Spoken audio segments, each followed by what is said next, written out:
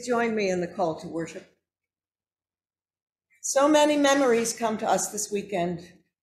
So many lives to be remembered. In a world filled with violence and war, We gather together to celebrate the promise of peace. in a world filled with tyranny and oppression, We gather together to celebrate the promise of justice. in a world filled with hunger and greed, We gather together to celebrate promise plenty for all. It is in this place that our hope springs anew. Our hope is in the name of the Lord. Let's stand and sing together.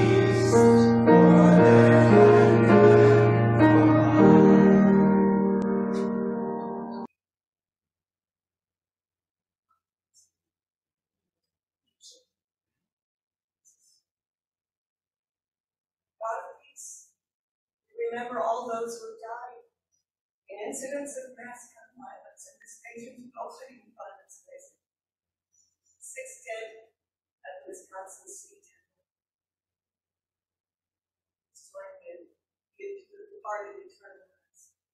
Let the light perpetual shine upon them.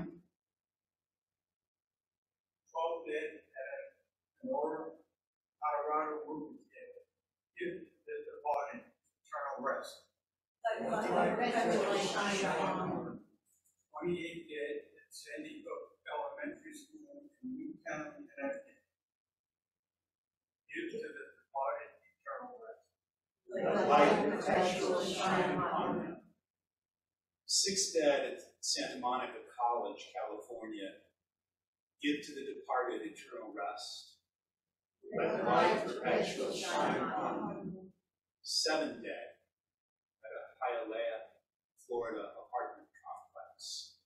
Give to the departed eternal rest. Let the light perpetual shine upon them. Thirteen dead in the Washington, Indiana. Give to the departed eternal rest. Let the light perpetual shine upon them. Four dead at Fort Hood, Texas. Give to the departed eternal rest. Let the light perpetual shine upon them.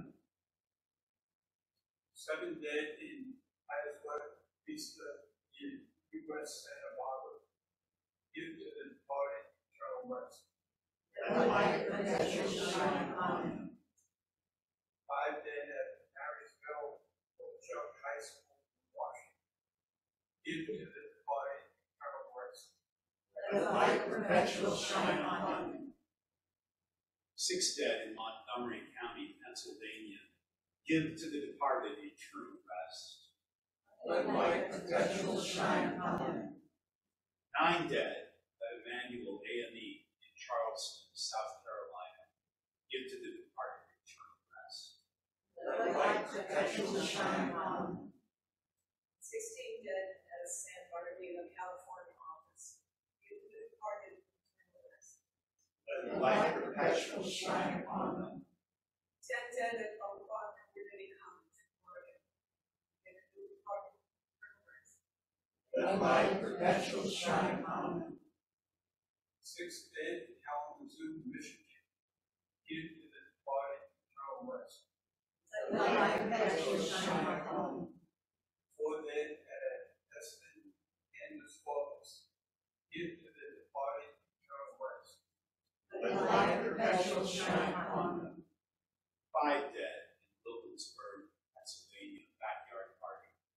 Give to the departed eternal rest. Let the light perpetually shine upon them. Fifty dead at Pulse nightclub in Orlando, Florida. Give to the departed eternal rest. Let the light perpetually shine upon them. Five dead at Cascade Mall in Burlington, Washington. Due to the departed eternal rest. Let the light perpetually shine upon them. Five dead at Fort Lauderdale Airport. Due to the departed eternal rest. Let the light perpetually shine upon them. Four dead in Fresno, California. Give to the departed eternal rest. Let the light perpetually shine upon them. Eight dead in a Lincoln County, Mississippi. Eight dead in Lincoln County, Mississippi. Give to the departed eternal rest. Let the light perpetually shine upon them. Four dead at an Eaton Township, Pennsylvania supermarket. Give to the departed eternal rest. Let Let the light shine upon them. Nine dead at a Plano, Texas football watching party. Give the departed eternal rest. Let the light perpetually shine upon them.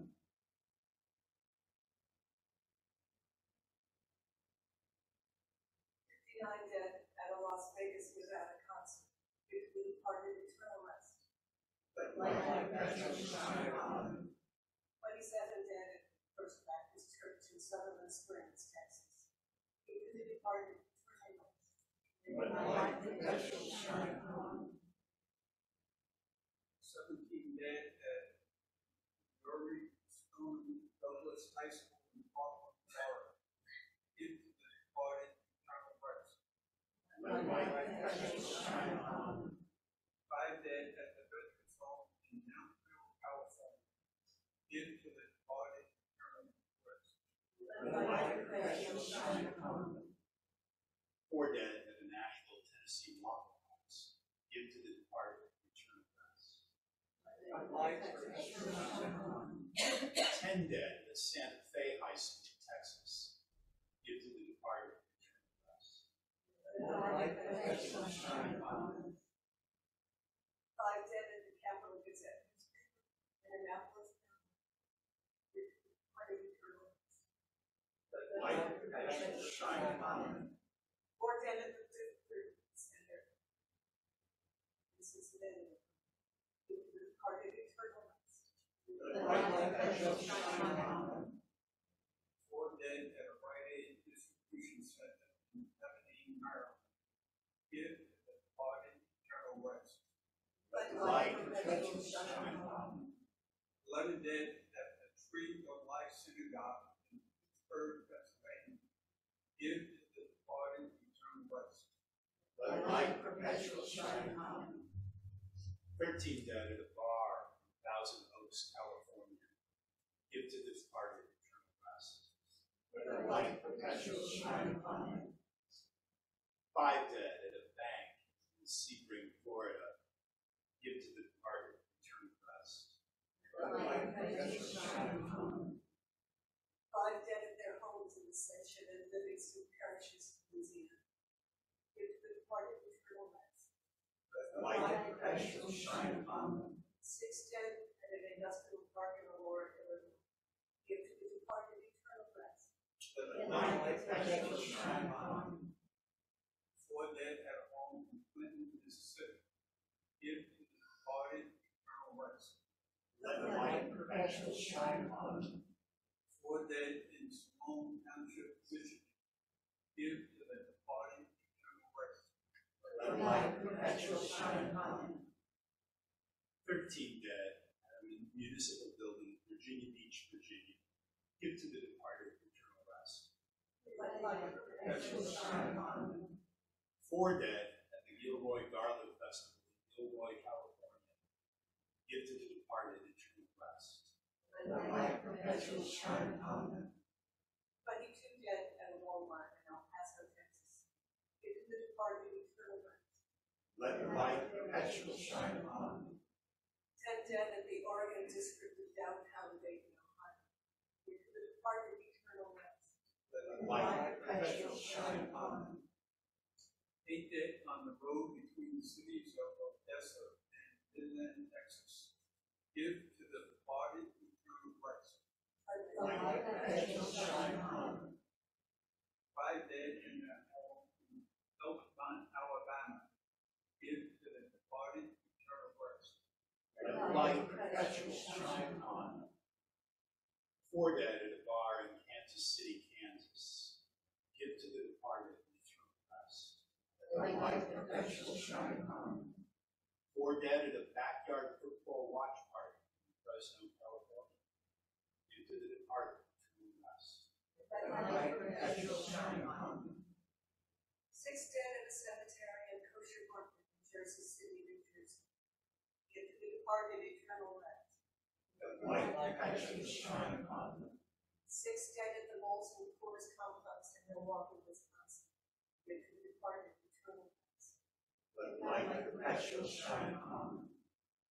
Five dead at a convenience store in Springfield, Missouri.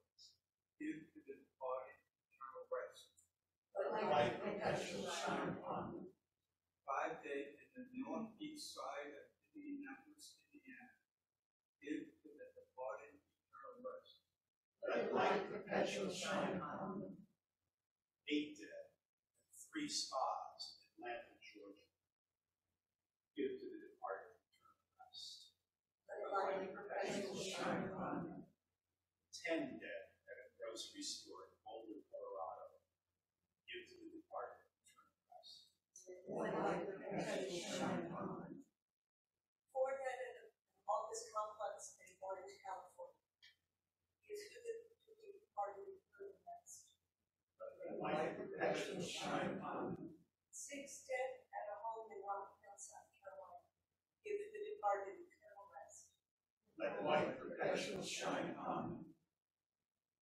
Four dead at an office complex in Orange, California.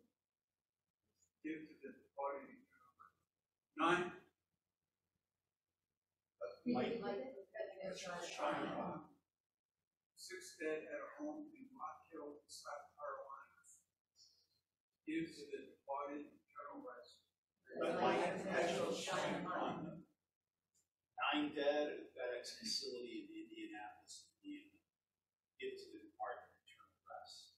Let light perpetual shine upon them. Seven dead at a birthday party in Colorado Springs, Colorado. Give to the departed eternal rest. Let light perpetual shine upon them. Dead at a rail yard in San Jose, California. Give to the departed eternal rest. Let perpetual shine upon them. Four dead at Oxford High School in Oxford Township, Michigan. Give to the departed eternal rest. Let light perpetual shine upon. Five dead in Lakewood in Denver, Colorado. Give to the departed eternal rest. Let perpetual shine upon them. Five dead at the church in Sacramento, California. Give to the departed eternal rest. Let light perpetual shine upon them. Six dead in downtown Sacramento, California. Give to the departed eternal rest. Let Let light shine upon them. Ten dead at a supermarket in Buffalo, New York. Give to the departed eternal rest. Let light perpetual shine upon them. Twenty-two dead at Robb Elementary School in Robb, Texas. Give to the departed eternal rest. Let light perpetual shine upon them. All those who have died in any incident of gun violence. Give to the departed eternal rest. Your light perpetual shine on. For survivors of gun violence, grant them comfort and healing. Hear us, Lord. Those who have lost loved ones to gun violence, grant them peace. Hear us, Lord. Those first responders who care for victims of gun violence, protect and strengthen them. Hear us, Lord. Lord, let us bring our concerns and our thanks to God.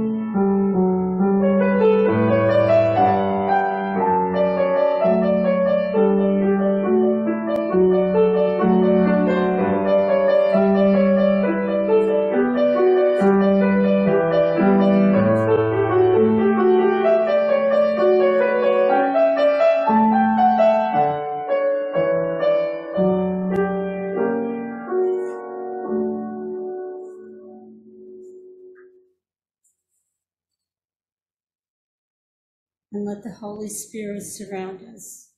In your name we pray, our Father, who art in heaven, hallowed be thy name. Thy kingdom come, thy will be done, on earth as it is in heaven. Give us this day our daily bread, and forgive us our trespasses, as we forgive those who trespass against us. And lead us not into temptation, but deliver us from evil. For thine is the kingdom, and the power, and the glory forever. Amen.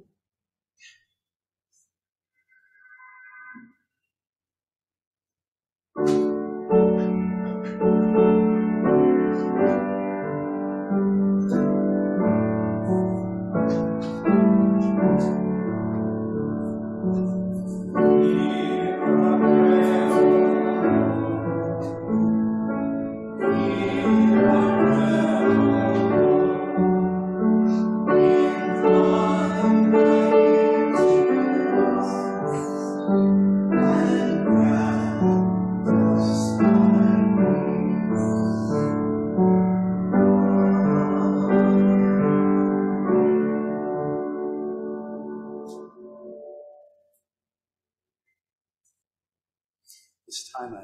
invite you to offer yourselves and your, your gifts to God through your offerings.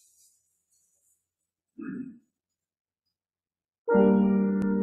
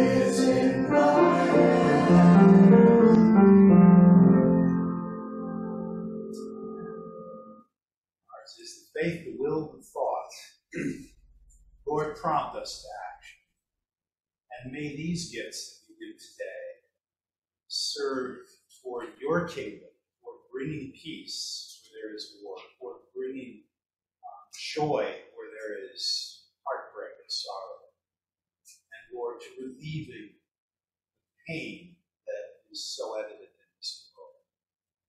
Take our gifts, bless them to your glory, in Christ's name. And the peace of our Lord Jesus Christ be with you. So with you. Let us share that peace with one another this time.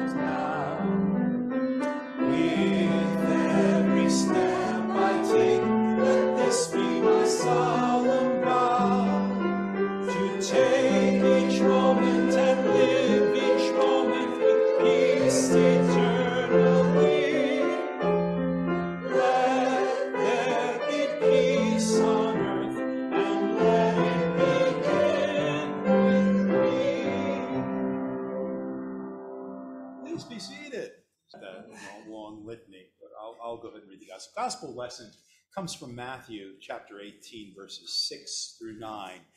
And this is Jesus speaking.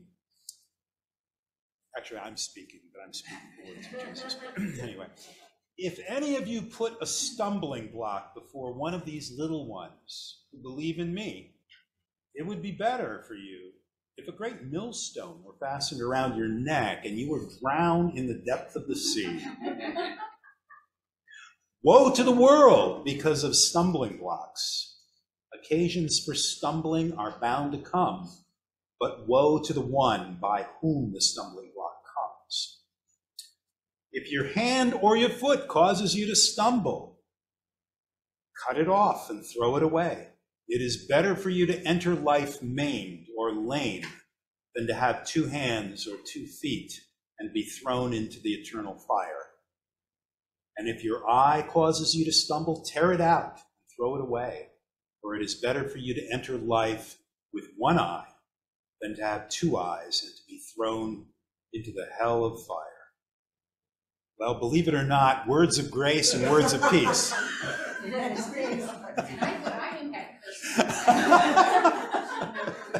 Thanks be to God. Thanks be to God. So, um, yeah, the title of this sermon, Cherishing Our Children. If you were to rate your life experiences, top five or whatever, um, those, those things that resonate with you, that you remember, those experiences that are at the top of your list as being the most wonderful, what would you, what would they be? Anybody? Anybody? Birth of your children. You- You read my script. That's good. That's good. Anybody else? Well, that's what I'm actually going into. I said, you know, near the ch- top of my list would be holding my son James for the first time. I didn't give birth, so I couldn't have that experience, but I could, I remember holding him for the first time. And boy, I was, I didn't, I mean, I was kind of scared. It was exciting and scary at the same time. Am I going to break him? You know, I mean, I was like, so holding a Fabergé egg or, you know, something like that, I was afraid that the littlest thing would make him shatter all over the place. I, you know, got him in the right angle, doing all this. But it was just this exciting, wonderful, wonderful feeling that I, I just can't, it, words can't express it. Uh, and if you don't have children of your own, um, nonetheless, you probably have had that kind of experience with a niece, a nephew, a cousin, uh, just a friend's child or something like that. You hold the child um, and you are extremely cautious and you, uh, you know, you, you're, you're looking into those little eyes as they open and you, you know, you put on the goofy face and you're like smiling. And if you see him furrowing the brow and kind of like getting ready to cry, you're like, oh, no, no, no, no. And you start acting goofier and bouncing around, doing whatever you can to keep his spirits up, keep those tears from falling out, you know, and, and it's just such a great, great feeling. You bend over backward, backwards, liking, acting like a complete idiot, just to keep that child happy. And you would do anything to keep that child happy and safe. And of course, babies aren't the only ones that we cherish. We, we, we cherish children as well, little boys, little girls.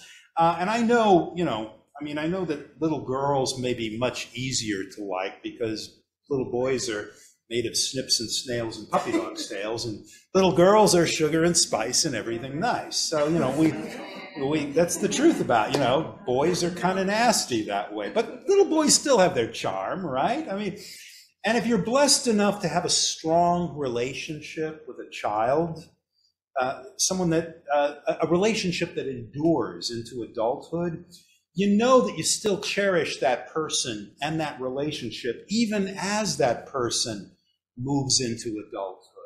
I, I, had the pleasure of going out to lunch a few weeks ago with my son, with, with a couple of his high school friends that I knew from back when they were getting in trouble. I remember one of them broke our shower in our house. You know, it was like, but I remember, but you know, the, the relationship lasted, and I kind of feel like a father to them when I'm around them.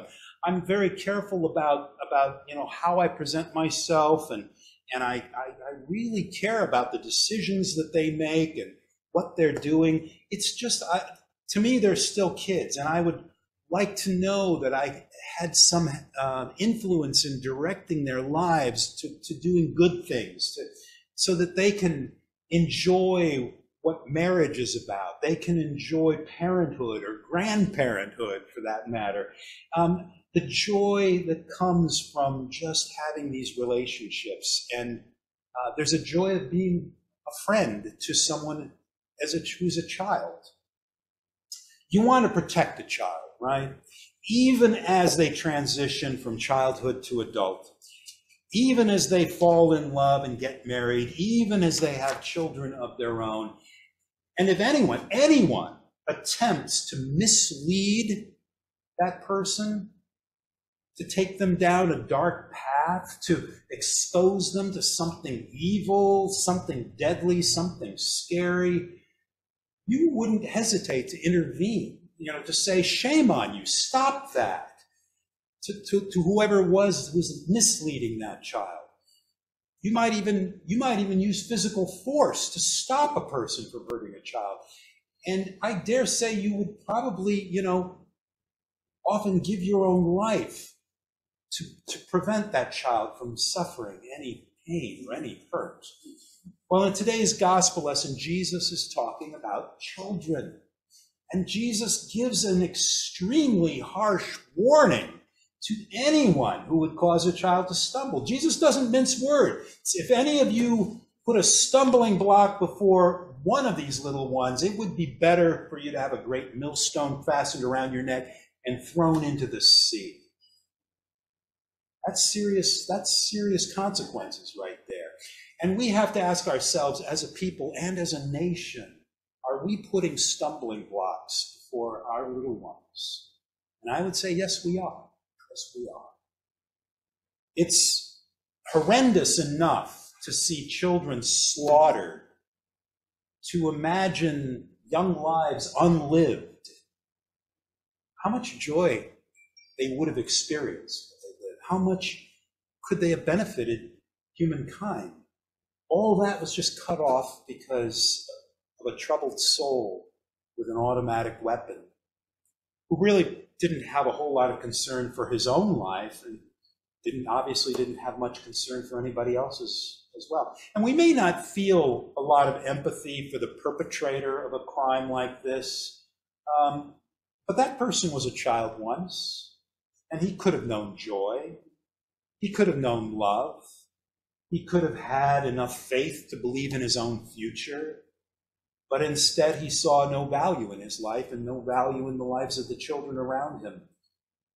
The great potential for joy and love is unrealized by so many. And of course, the children who are murdered are not the only victims of such a travesty. What about the living? What about those who are left behind? What about the parents whose lives, in so many ways, centered around their children? Their children are the reason that they go to work. They save their money. They scrounge. They spend extra time as, as den mothers or, or, or uh, troop leaders, chaperones, PTA presidents. Their lives have been centered around those children, and now that's just a hollow center in their lives. One thing you have to realize is that no parent ever gets over the death of their child. The memory stings every time it comes up. Some parents grow despondent, some grow depressed, some grow suicidal, some do take their lives. They can no longer find meaning in their life when they lose such a precious thing as their own child. And what about the child's friends? the ones who used to play together with Alexandria Rubio, Jose Flores, Makenna Lee Elrod, or Javier Lopez. What are those friends feeling right now? Knowing that there will be no more play dates, no more laughing together, no more sleepovers, no more secrets that can share with one another. And if you add to this the sense of loneliness and trauma of seeing your friend die in terror.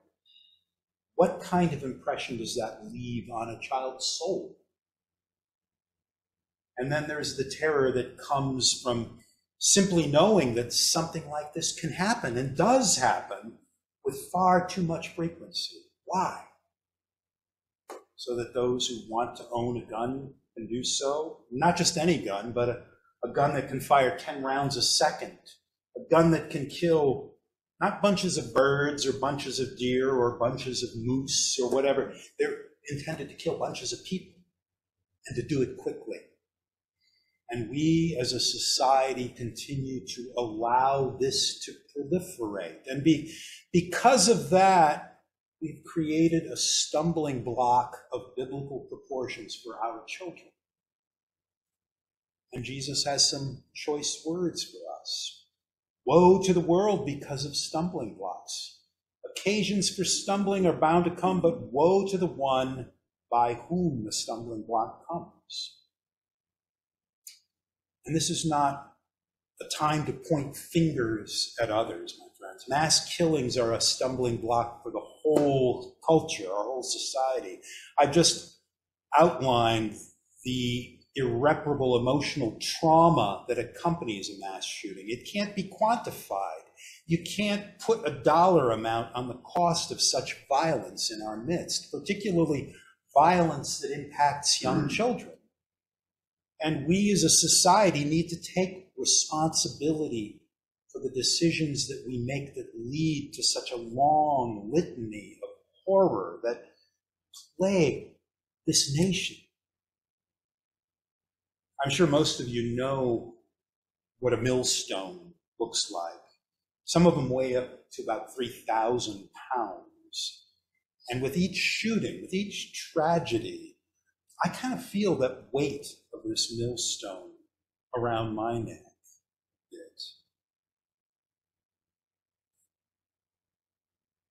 I think my own inaction has allowed so much of this travesty to continue. Um, I'm not a gun advocate, I'm not an NRA advocate, but I, I, I tend to sit back and complain, but not do some of the good legwork that needs to be done, that we all need to do.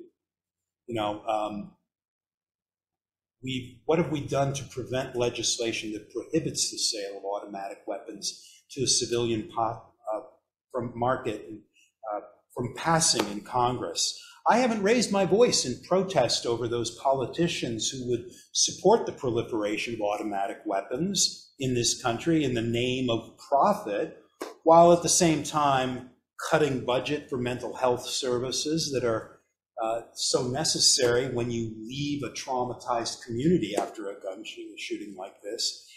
I've fed into a culture of blame as well, pointing my finger at my opponents and saying it's their fault, while not doing all that I can to advocate and demonstrate and negotiate for change, lest this millstone carry this whole nation to the bottom of the sea.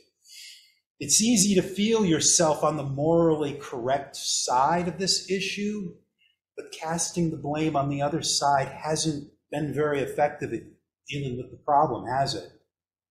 And perhaps Jesus recognizes this when he's talking about cutting off our arms or our legs or plucking out our eyes. I think Jesus is talking about compromise here. I'm not talking about just giving in to the wishes of the other side, but I'm saying taking steps that have to be taken to make incremental progress as opposed to no progress at all. Compromise is something that we struggle with as a nation, and mass shootings in this is, is a national problem. And clearly, not enough has been done to end these shootings. It's time for this nation to lose an arm or lose a leg or an eye in order to save its very soul. What do I mean by this? I mean that we as a nation have to, first of all, engage with our political enemies, people on the other side of our fence, rather than just standing on our side and throwing stones over it. That in itself may feel difficult, like uh, it's a difficult compromise to make for some but we have to make it. And the other side has to make it as well. In a sense, each side on this gun control Second Amendment argument needs to cut off an arm or a leg or remove an eyeball or whatever. That's the way politics works. It's the art of the possible, not the ideal. The Bible speaks of the ideal many a times, and we all hold that as our vision in front of us. What the day when the sword is going to be converted to a farming tool, when the lion can lay down with the lamb. That's what we Christians believe in what we strive for. And oddly, there are Christians on the opposite side of the political fence from me who still believe that what they're doing is the Christian thing. I read an article yesterday from a manufacturer of automatic weapons who believes he's doing it for Jesus making sure that there are enough automatic weapons available to arm every American who is afraid that his country will devolve into atheistic communism. He believes that. And he mourns for the children and teachers slain at Robb Elementary School, as I do. That should be embraced. That should be embraced. The fact that the other side mourns as well. They're not just evil standing there saying, Well, who cares about these kids? They mourn for it too. They need to understand, like our side needs to understand, we need to work towards something. We need to get something done here.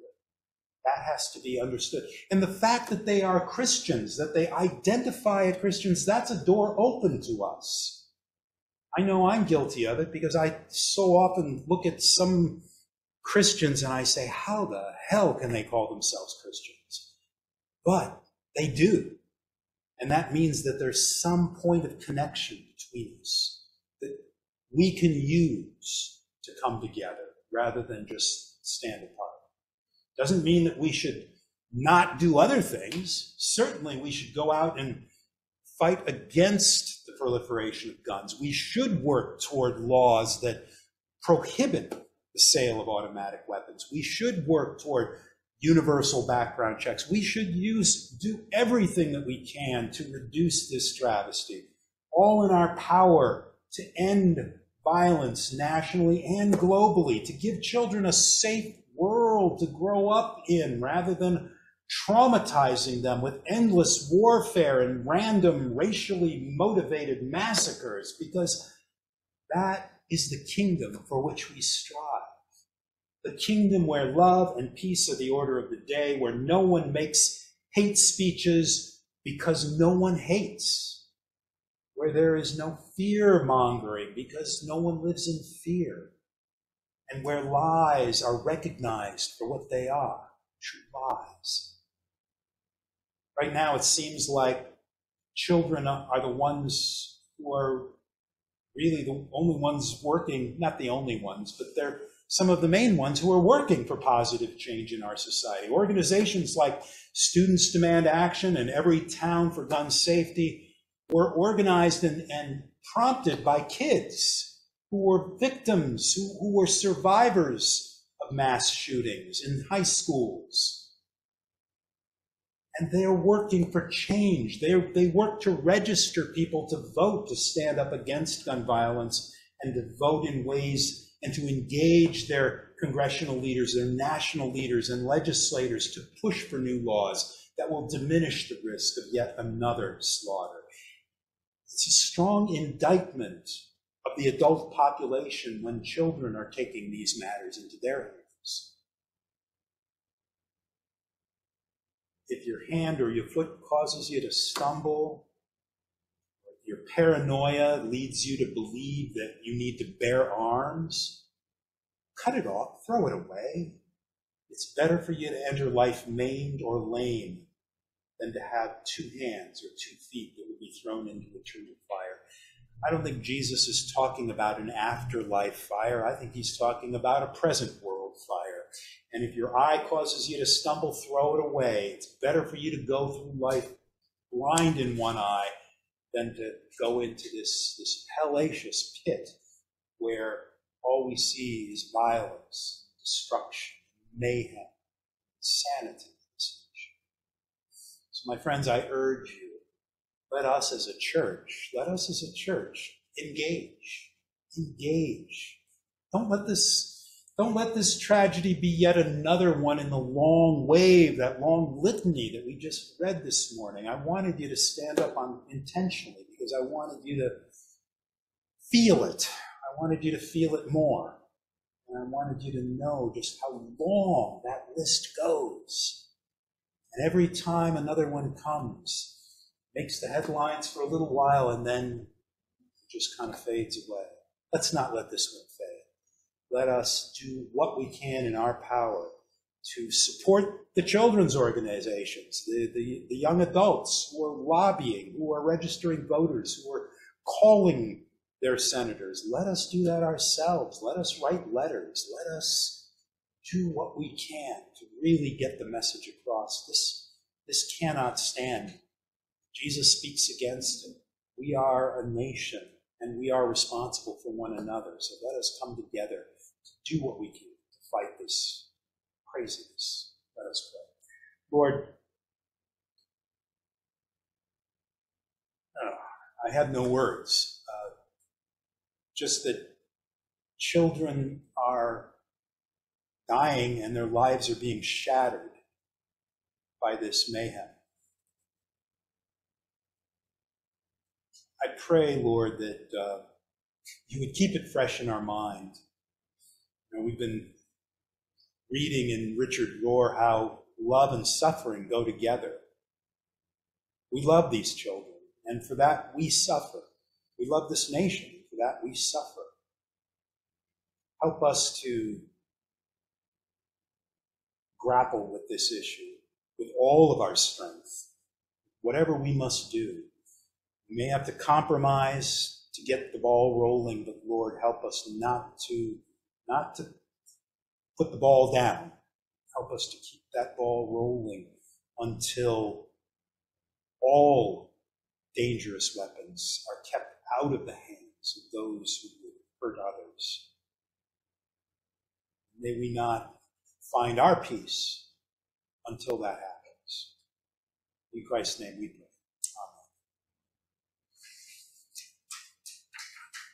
Amen. Our, closing hymn is Think of children hear this song uh, and think of what we teach them. That was when I when I was uh, teaching Sunday school or leading Sunday school. I said, you know what? You don't have to teach them theology or anything. Just teach them that you love them and Jesus loves them. And that is the message that comes through this. So let us join in the closing.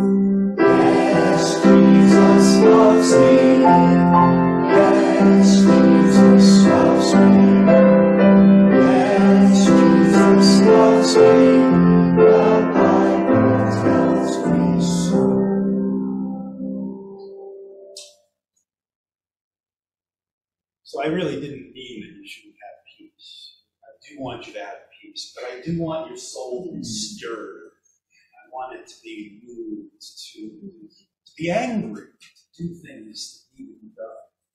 Make this better country, make this this. So the Lord truly bless you.